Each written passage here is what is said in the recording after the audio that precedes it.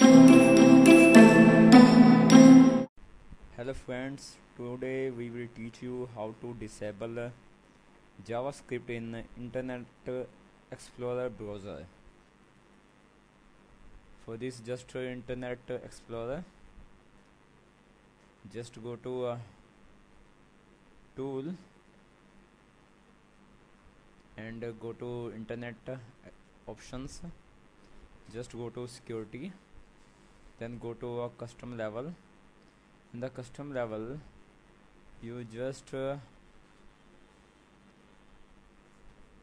go to scripting. In the active scripting you click the radio button disable.